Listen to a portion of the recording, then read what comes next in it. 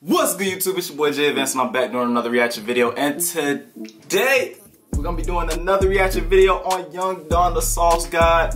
This is gonna be part two, the actual uh, video that I did a couple of videos ago I think. So it's gonna be the Friend I Betrayed animated story part two. If you wanna go check part one, I'll have it somewhere in the link description or yeah, I'll have it somewhere in the link in the description, or I'll have it at the end of the video if you want to uh, watch it after this video. But I recommend that you watch the part one, of course, because it's part one, and then part two. So yeah, but hey, we're gonna get straight to this video. Um, if you guys enjoyed the video, as always, please make sure to leave a like, comment down below, subscribe if you're new to the channel. So I ain't gonna waste y'all time. Oh, and also ring the notification bell, you guys, so you can get notifications on whenever I upload a video. They gonna be lit, they gonna be bangers coming on the way soon. It's actually spring break for me right now, you guys, so I should be cranking out some uh, some more uploads. So yeah, spring break, then I should go back to school, then you know go to summer, summer break. The grind ain't gonna stop then, so I'm gonna have more free time on my hands. So yeah, let's get straight to the video.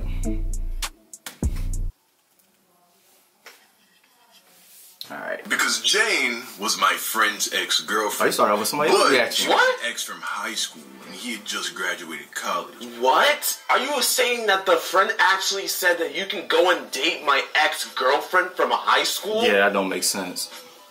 He allowed this? that don't make sense. Yo, yo, don't, yo, your friend needs to get cut off real quick. Oh my god.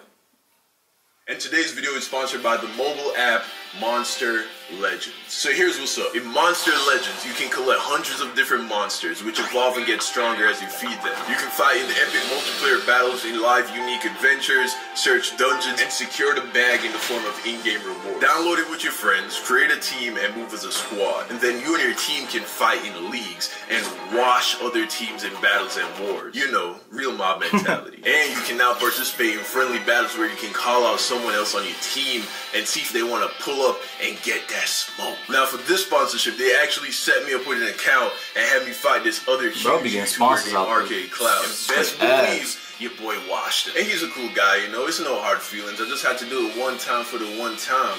You feel me? So go check it out. Download the game today. It's one of the best ways you can support me, the Sauce Squad, and the Secret Sauce Society. Use my link in the description. All right, let's get it.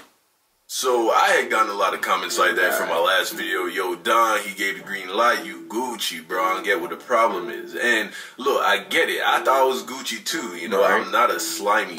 But regardless of what anybody wanted to say, I see now why it was hooked up. But for you to see no that, you right need now, to see my I just history. woke you gotta understand my background a little bit more clearly. So check this, right? So after I graduated from high school in Florida, I had a decision to make. Either I was going to go to any of the several universities that I got accepted to, or I was going to risk it all and go to a community college in California where I would pursue my dream of one day making it to the NBA. You see, out of high school, I was scouted by a few Division two, but mostly Division three colleges. And it was clear to me that if I was going to make it to the league, I needed to go D1. Well, one of the only ways you can do that if you aren't scouted directly out of high school is to go to a junior college. You play your heart out for a couple years, and then if you're good enough, you stand a chance of being picked up by a D1 university. So that's what I chose to do. Now, as most of you know, I have Caribbean parents, and anyone who knows oh, anything God. about Caribbean parents knows that all they want is for their kids to be successful. Immigrant parents in general are like that. Doesn't matter if you're from South Africa, Australia, Jamaica, Trinidad, even if you're from a place like the UK, Canada, or the United States of America. If you got immigrant parents, they just want their kids to get a good education so that their kids can live a better life than Than theirs. theirs. Leave me a comment down below if you can feel what I'm saying. So after I got into all Spit these universities, my parents were over the moon, my G. They felt like they did their jobs. So when I roll up on them and hit them with, so I know y'all spent mad money on all those college applications and sacrificed buying things for yourselves so that I could live a more comfortable life and focus on school. Yeah, you're gonna get whooped. But uh all is life. Almost like Oh my god, I see that clip too right recently. now? Did you get hit in the head with a bat, my G? Cause you sound mad dumb right now, my G. You wanna turn down academic scholarships? To go and play basketball? But right when all hope was lost and I thought my hoop dreams were about to be snatched from my hand, oh! my dad came in and saved me. He vouched for me. He looked at my mom and was like, hey, listen. I believe in our son. Right. I think he can do anything that he puts his mind to. There we go. If he wants to be the next LeBron James, Right. he can do it. Thank However, after a year of playing basketball at the junior college level, my heart just wasn't in it anymore, and I decided to stop. This was a decision that my parents weren't thrilled about because I turned down getting into several highly rated universities in Florida just to quit after only a year. It seemed like a waste, you feel me? Yeah. As a result, my dad, who was paying for the apartment that And I lived in, 6'5", told me that if this was the decision that I was gonna make, then I gotta pay for myself. I wasn't ready for that. He was like, Hold on, Virgin. Oh yeah, said to me. After me stick out my good, good neck for you, Chris. After me tell your mother say y'all gonna be the next LeBron James. On the ball is life, you. No Rasta. You want to make grown man decision? Eh? A style, a style me, you. Ah, breeders.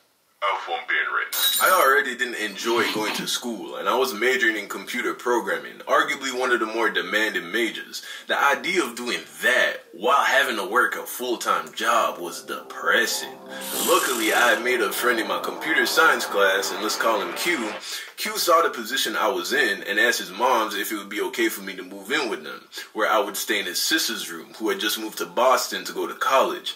This was the same house that the I wasn't ready to be a dad story happened in. This was more clutch than Jordan in the fourth, you feel me? Because the rent was so cheap that I wouldn't have to work full time. That way I could manage the workload I was getting from school.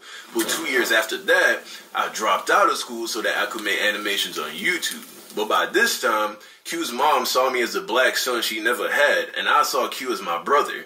We were family, still are. But Q's mom had a rule. All the kids in the house, white, black, and everything in between, had to go to school. If we didn't, she was gonna charge rent.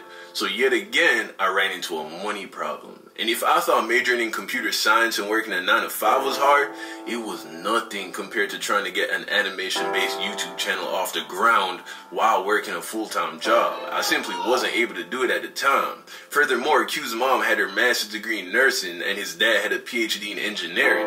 So to her, the idea of banking everything on making cartoons for YouTube didn't make sense to her. So I didn't feel like my dreams were being supported in the house, even though it was from a place of love. She just knew that I was a straight A kid when I'm focused, and she wanted me to take school seriously, just like my own parents. And that's where David comes in, also a fellow artist, and a friend I had made recently.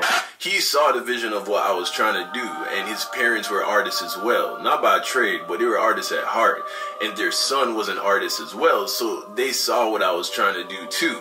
So yet again, by a stroke of good luck, I made a friend who offered to allow me to live with him and his family for a rent that was so low, it was practically free. So I lived with David and his wonderful family for four months. And it was in that four months where I was in a supportive environment that I was able to focus on my art and believe in myself enough to make my YouTube channel successful. Do you see where I'm going with this? You could reasonably make the argument that if it wasn't for David and his family, the Young Don the Sauce God YouTube channel wouldn't be what it is today. I mean, it might have never gotten off the ground. That's the guy. That's the guy whose ex-girlfriend I decided to date. And here's what I didn't tell you in the last video. After my YouTube channel blew up, David and I decided that we were gonna move to Austin, Texas together with 340 Ori and a couple other friends. And I had the brilliant idea of telling Jane that she could come. This posed a serious That problem for David that's because David's messed up. girlfriend wasn't gonna be cool with that. So David told me I had to choose. I had to choose between him and my new girlfriend. Who do you think I picked? Yeah. Ladies and gentlemen, Oh, welcome to my new segment, Instagram shoutout. Today's winner is Jaden Fura. Hola, isn't isn't that what Hitler called himself? He needs some milk. What have I done? Well, let's hit my boy with a quick follow back and check out his page. Turns out you're a photographer. Hmm. See, I didn't know what to expect. He just left me a really nice comment, so I picked it randomly, and I guess his last name is Führer. Where are the Jews? I want to take their pictures. Yeah, that's very photogenic. Oh, Ah, damn, broski, you nice with the camera, man. I like. uh, I think that's the end of the video, y'all. So I'm gonna just cut it right there. Uh, man, I mean, dude really has a lot of sponsorships, like up the wazoo. But yeah, guys, I'm gonna cut it right there. Again, like, comment down below what you guys want to see next, and um, subscribe if you're new to the channel. And yeah, I think my camera's gonna die soon, so yeah, I gotta wrap this up a little bit. But sorry if it's not like the most edited or best, you know, spec out video I got right now because uh, camera's about to die. And I'm actually short on time today, you guys. But I will be making more reaction videos during the uh, my spring break. So don't worry about it, you guys. See you soon. Peace out.